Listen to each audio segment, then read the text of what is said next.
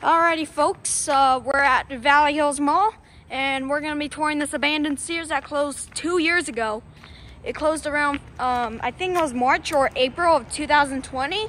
I hope these guys don't think I'm gonna try to break it. I'm not breaking it. I'm just doing a video like, you know how like, you know, abandoned people, like like people who like to go take abandoned places. Yeah, I'm I'm deciding to do that too. I did this like back at Big Kmart, but yeah. So this is Sears from Valley Hills Mall. You may recognize the parking lot, but um, I'm not trying to trespass this place. I'm just doing a video, so just mind my own business. Anyway, to the topic. Uh, this, like I said, this year is closed two years ago, and they still have the sign up. So I'm surprised they didn't take it down yet.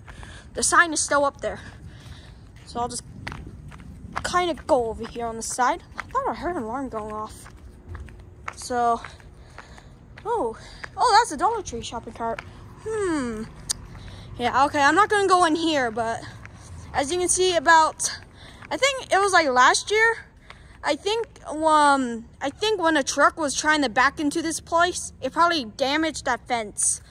Also, there's a lot of homeless people living around this area, so you may see something like a Walmart shopping cart, and then there's a Sears shopping cart, and then there's a Target and a um, FedEx Fox shopping cart back there. I think that's from Office Max or Office Depot.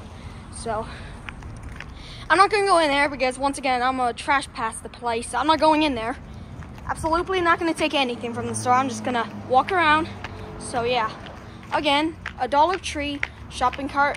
I don't know what's it doing there. So I thought I heard an alarm going off around this building. So so there's the uh, merchandise pickup center. Oh, I hear alarm. So there's an alarm going off in this building right now. I don't know if you can hear it, but let me go closer. I'm not gonna trigger off the sensor. You can hear it. I'm not gonna go close, but here. You hear that? Yeah, the alarm's going off, so. I, didn't, I now I didn't turn on this alarm. This alarm just came up by itself, so it's like it's like beeping like da da Doda, Doda, it's beeping like that. So I don't know if that's normal. Maybe that's just the alarm. Maybe that's just a fire system going off. I don't know. You can probably hear about this. this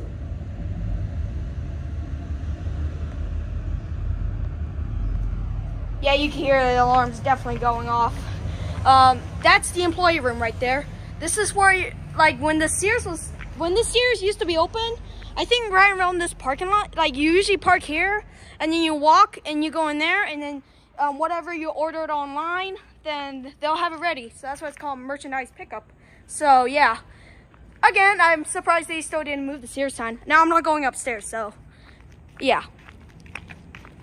But I don't know why the alarm's going off. It didn't go off like two years ago when this place closed down. So, all right. Now, for the big moment you've been waiting for.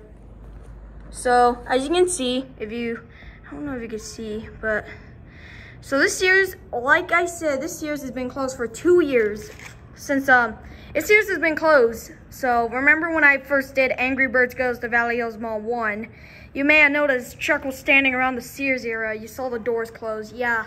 So I went to the Sears, like, like whoever's been watching my channel since 2017 probably knows this, but I, I came to the Sears and every time I come here, I'll usually mess with their Craftsman lawnmowers. Like I'll usually just pull the handle, like the ropes. So this was the Sears I filmed at. I, mean, I did kind of got in trouble for doing that. So right here, right, right here where I'm pointing will usually be where the, uh, so on Christmas time, they'll usually have Santa Claus stuff here. Like, like, you know, the, um, uh, floaties that you have outside, the Santa Claus. Yeah, they always usually keep these here. Also, this was the area where they had their craftsman tools, and a lot of the lawnmowers were right in this area too. And if you kind of zoom, like way in the back over there, there's an entrance to the mall. There's an entrance to the mall back there.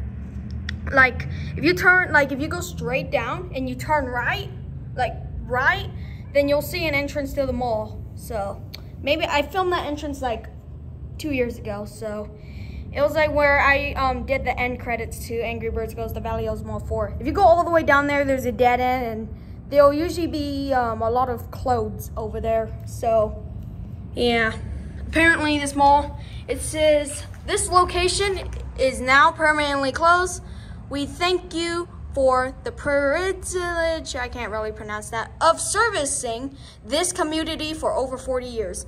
Now, yes, there is a button, but I am not going to press that because I know they lock these doors for a typical reason.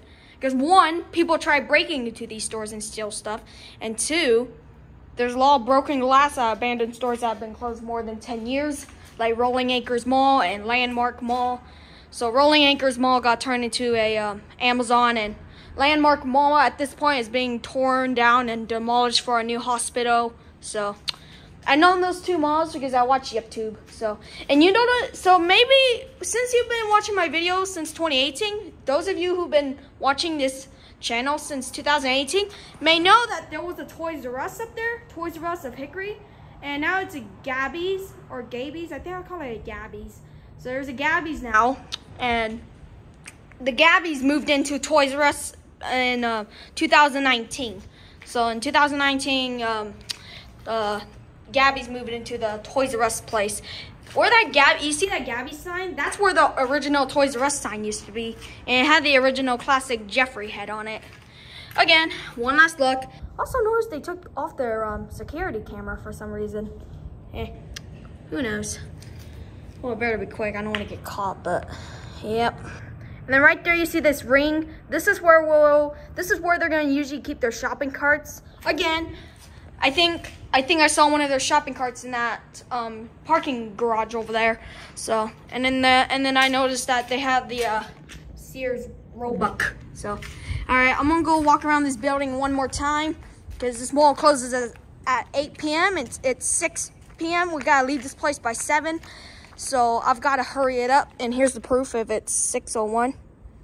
Yeah. If you kind of walk if you kind of walk on this side of the building, you can actually hear the uh, alarm. And I think, yeah, uh, here, let me go over here a little bit.